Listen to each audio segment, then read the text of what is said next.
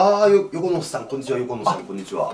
こんにちは。横野はじめまして。海崎木之助です。よろしくお願いします。よろくお願いしますまあ今回ね127のねまあ被害者の会被害者の会というかまあ自分自らのミスで招いてしまったね。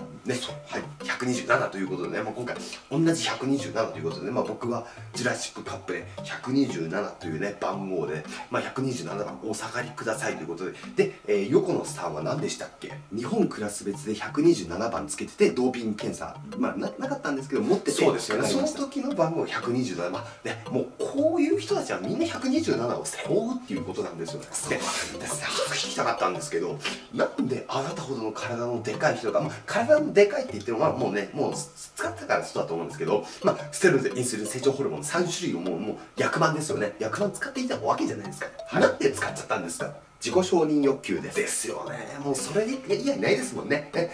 他のみんなに認められたかったんですよね。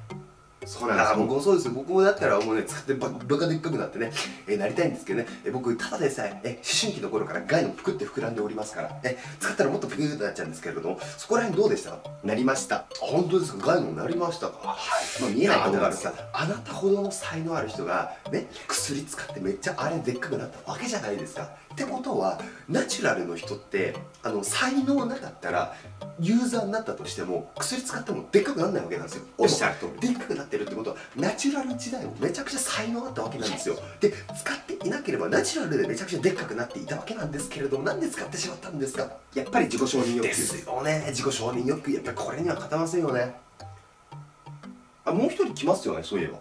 もう一人。それ遅くないですか？そうなんです。ちょっともう一人来るみたいなんですけれどもちょっとまだ時間に集合時間に間に合っていないみたいなんですけれども、まあ、もうちょいしたら来るみたい